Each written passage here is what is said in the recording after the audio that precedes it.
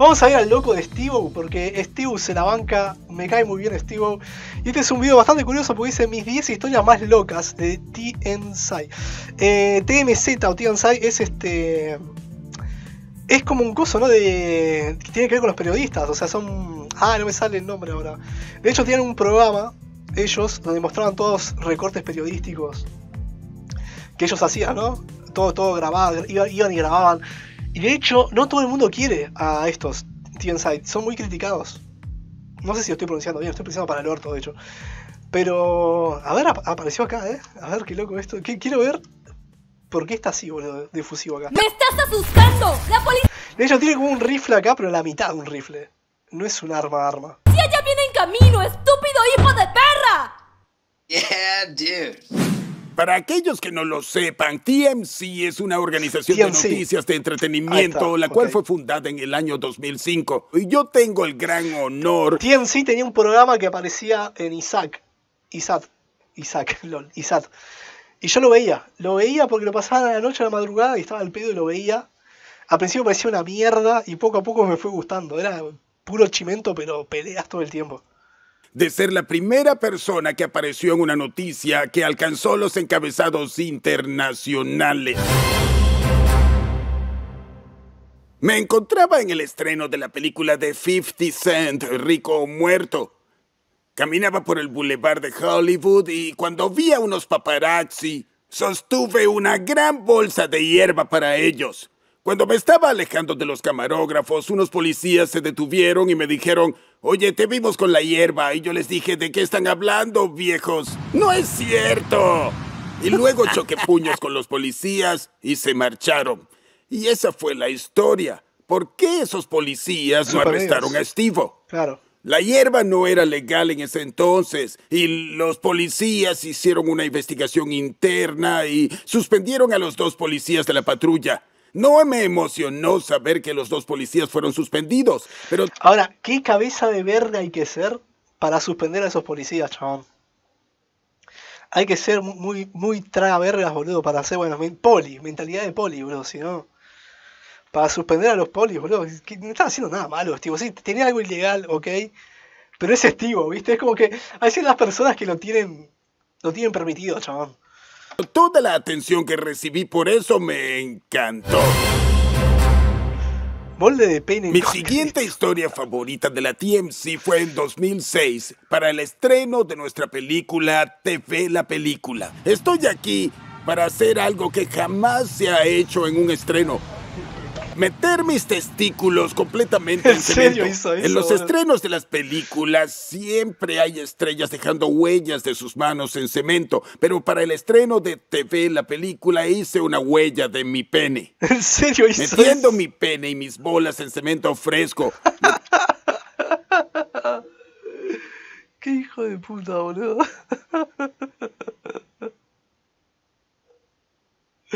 Este tipo es épico, ¿eh? Ya lo dije un montón de veces, es que es épico, épico, épico, épico. Que creo que nunca había pasado antes. Y en el artículo decía nuestro desastre favorito. Después de Tara Reid, ¿eso decía el artículo? Eso creo. Sí, pero yo quería ser el desastre número uno, así que me aseguré de ser grabado orinando en la alfombra roja, fumando hierba en todos lados, vertiendo cerveza sobre los paparazzi y pueden estar seguros de que fui un desastre, ¿eh? vertiendo cerveza sobre los paparazzi y pueden estar seguros de que fui un desastre. Qué Guerra de Estaba tan fuera de control que hacía historias para TMC sin salir de casa. Yo odio a mi vecino. Solo la guerra loca que tenía con mi vecino hizo la historia. Steve ataca a su vecino. ¡Me estás asustando! ¡La policía ya viene en camino, estúpido hijo de perra! Y hay muchas más cosas de las que puedo decir aquí, pero... A ver, espero que cuenten cómo arrancó, boludo, toda esa pelea con el vecino, ¿no? Es que si vos tenés de vecino a Steve, yo creo que me llevaría bien con él. Pero yo porque soy medio loco, ¿no? Como él. No, no a ese nivel, ni en pedo a ese nivel, no llego ni ahí. Pero no sé, boludo, si sos medio hortiva, creo que... Va, hay que ver también cómo es él como vecino. Yo era realmente malo con mis vecinos. Hice un hueco a su apartamento por la pared y fui arrestado por vandalismo. Estuve lanzando muchos home runs para TMC por varias semanas, porque cuando los policías me detuvieron por el cargo de vandalismo contra mi vecino, encontraron cocaína en mis bolsillos y me volvieron a arrestar y fui acusado por posesión de cocaína. Estuve en una celda de Hollywood como por tres días y cuando salí, TMC estaba esperándome y no los decepcioné. ¿Son de TMC? Sí. Bien, ya era hora. Acababa de salir de la Mirá de estaba, TMC. boludo. Sí. Estaba todo flaco, boludo, hecho verga. Bien, ya era hora. Acababa de salir de la Me agrada mucho el cambio, te digo. Me agrada mucho ver que el chabón, si bien tuvo una época que era re drogadicto, re fisura, y era todo un descontrol, hoy en día ya no es así. Y está bueno ver que ahora está más gordito, más feliz, y no tan, tan metido en esa histeria, ¿no? En esa histeria colectiva que lo llevaba a hacer todo eso. Mira, él, él se lo buscaba también, ¿eh? Y estaba como, oigan, ¿qué hay chicos? Eh, me robé las sábanas y las tenía escondidas en los pantalones.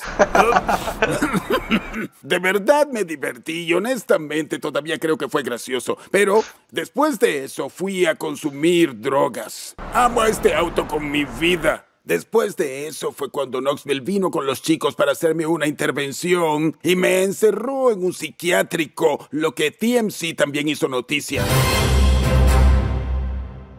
Después de eso, TMC Claro, documentó mi proceso de sobriedad, la cual es una etapa muy extraña, debo admitir. No quería salir en cámara. Hicieron una pedazo. historia porque no quería ir a rehabilitación.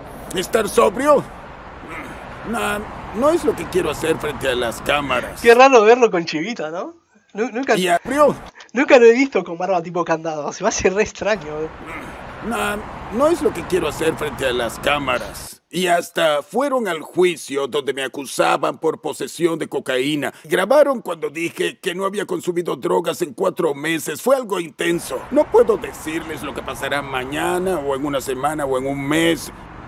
Solo puedo decirles que creo que las cosas están mejor. Incluso hicieron una historia de cómo fui pero- Lo que pasará mañana o en una semana o en un mes. Solo puedo decirles que creo que las cosas están mejor. Incluso hicieron una historia de cómo fui voluntario en un geriátrico y el título decía de bolsa de drogas a bolsa de heces. Y no me molesta geriátrico y el título decía... La, la cara que le pone, boludo. Lo bueno que él se lo toma todo con humor, pero yo recuerdo que habían otros este, artistas que TNC hacía esto, ¿entendés? O sea, era- hacían esto, eran como precursores, porque hacían en Kill Bite en los años 2000 más o menos, empezaron a hacer el Kill Bite. Pero sí, boludo, hacían esto, y hacían con todos los artistas, entonces había muchos que se enojaban. Yo me cagaría de risa, ¿no? Como él, como Steve, la, la foto. de bolsa de drogas foto? a bolsa de heces. Y no me molesté. Pero creo que se aburrieron de informar que Steve estaba sobrio, ya que parecía que me quedaría sobrio, pero... Pero no tardé mucho tiempo en meterme en problemas sin drogas ni alcohol. Sí. Por la policía. Estaba de gira presentándome en San Antonio, Texas, y ahí tenían una especie de río hecho por hombres y yo quería saltar desde el puente y lo hice. Río. Ah, esto fue épico. Pero el agua era tan poco profunda que golpeé el fondo y pensé, viejo, necesito crear conciencia sobre esto. Alguien podría resultar herido por saltar desde el puente. Hice publicaciones y salí en las noticias. Hace unas horas publicó esta foto en Facebook y escribió. Hice una buena acción al probar que no es seguro saltar desde este puente en San Antonio. Es poco profundo. Y hubo una gran investigación. Los policías intentaron detenerme y les dije, mira, no había carteles prohibiendo saltar desde el puente. Yo les hice un favor. Y luego se fueron. Lo disfruté mucho. Qué grande, chaval. Luego, cuando estuve en San Diego, mi gerente importa de giras me dijo, deberías joder a SeaWorld, ya que están en San Diego. Y le dije, no podemos meternos con propiedad ni nada. Pero vimos un letrero en la autopista indicando la salida a SeaWorld y le dije, podemos meternos con el letrero. Así que hicimos hasta lo imposible para subir al letrero y escribir SeaWorld apesta. Y Nadie supo quién lo hizo. Pero luego publiqué el video y querían arrestarme por eso. Y yo pensaba, es que... Luego publiqué el video. Boludo, es que este chabón vive o vivió todas estas cosas a otro nivel, ¿no? O sea, está a otro nivel. Es que hace todas cosas épicas. Ha estado con gente épica y encima se saca fotos así épicas. Esto es épico. Tener esta foto, es épico. O sea, me encantaría hacer algo así a lo largo de mi vida en, algún momento. Pero es que este chabón es, es como lo normal. Lo normal de él es hacer estas cosas. Qué Y increíble. querían arrestarme por eso. Y yo pensaba, es genial. Así todo el mundo verá que SeaWorld apesta. Eso me hizo sentir bien. Me sentí tan bien por meterme con SeaWorld que decidí hacer otra acrobacia para demostrar que ellos apestan. Así que Vivió en la el medio loca, de sí. Hollywood escalé esta grúa de 45 metros con una ballena asesina inflable en la que escribí SeaWorld apesta y llamé un montón de atención. ¡Esto es una locura! Encendí unos fuegos artificiales cuando el helicóptero de la policía estaba pasando y esta vez no me iba a salir con la mía sin consecuencias. Me arrestaron. Tuve que contratar un abogado, tuve que pagar por daños, me sentenciaron a 30 días de prisión, más 3 años de libertad condicional y durante ese tiempo no podía entrar al distrito de entretenimiento de Hollywood, el cual era mi vecindario.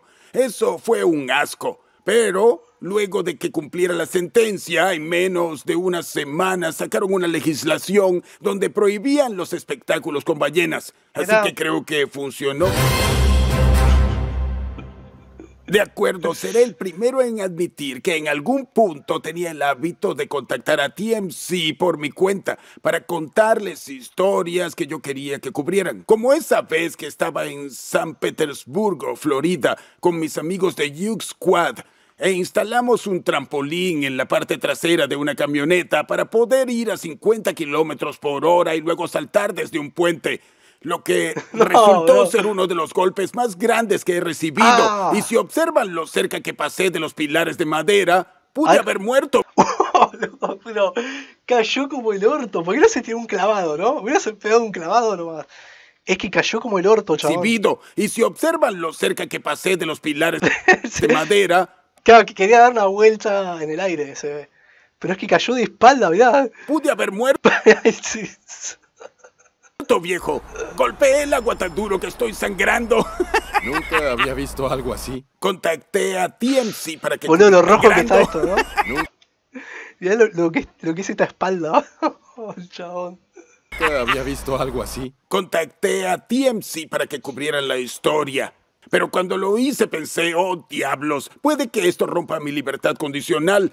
Y los llamé para decirles, envié el video y luego los llamé y les decía, viejo, no, no, no, no, bueno, olvídalo. Y lo publicamos y los policías de Florida dijeron que nadie los había llamado, que no perderían el tiempo, así que no nos preocupamos.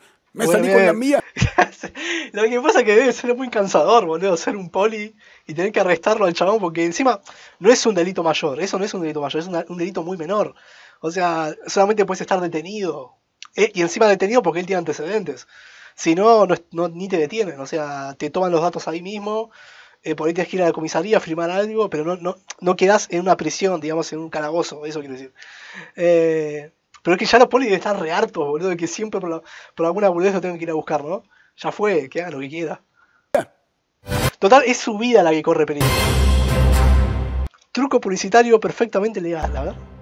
Lo crean o no, pasé tres años enteros sin meterme en problemas. A pesar de mis esfuerzos por romper la ley, no me arrestaron nunca. Y cuando salí de libertad condicional, estaba listo para meterme en problemas. Y tenía este genial solo para adultos, no apto para YouTube, especial de comedia llamado Radical Gnarly que debía promocionar y fue cuando me subí a ese cartel. Por supuesto no rompí ninguna ley, así que no me metí Ah, en problemas y pedacito luego de que el departamento de bomberos me bajara, me sentí mal. Recaudé mucho dinero y doné 50 grandes al departamento de bomberos. Así que al final me sentí bien y ustedes se sentirían bien si van a señorestiva.com a ver a Narly, una historia bastante gráfica de la guerra con mi vecino. La, la mitad de las cosas que TMC estuvo reportando, yo busqué los videos y los monté en Narly. Así que vayan a verlo. Sí, viejo. Gracias, TMC. Los amo. Ustedes siempre estuvieron ahí. Son leales. Qué loco, ¿no? Hay gente que detesta, odia a esos periodistas de TNC. Sin embargo, él los ama, boludo. Los quiere y tiene una buena relación con ellos. Debe ser una de las pocas personas que se lleva bien con ellos. Eh, ¿Viste cómo son los periodistas? O te pueden este, poner en la gloria, en la cima, o te pueden hundir hasta el infierno, chabón. Pero qué grande, boludo, Steve.